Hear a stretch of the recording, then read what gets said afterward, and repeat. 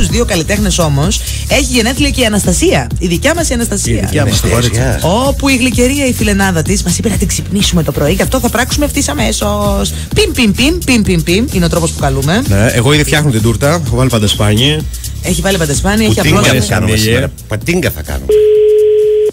Παρακαλώ. Στο όνομά σου Αναστασία. Κρεμασμένα λες χίλια τάματα Τελικά η ζωή. Δύο γράμματα. και τρία δράματα. Σιγά μην κλείνεις. Αναστασία, καλημέρα. Καλημέρα. Μόλις σου είπαμε τους τοίχου του τραγουδιού Αναστασία, που φαντάζομαι το γνωρίζεις και στο έχουν χίλιο τραγουδήσει. Κάθε μέρα όμως. Κάθε μέρα. Κάθε μέρα. Μια φορά είπαμε και εμείς σαν Next Morning Show να στο τραγουδήσουμε και να σου πούμε Χρόνια πολλά! Χρόνια πολλά, Αναστασία! Ευχαριστώ πάρα πολύ. Η γλυκερία η φίλη σου Θυμάσαι. μας παίρνει τηλέφωνο και μας λέει: Έχει το Αναστασάκι προγενέθλια. Πάρτε το και ευχηθείτε του.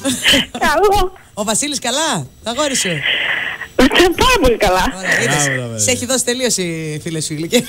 Α, Όλα τα πέ. Με έχει κάψει, όχι με έχει δώσει. Λοιπόν, χρόνια, χρόνια πολλά και καλά και πάλι.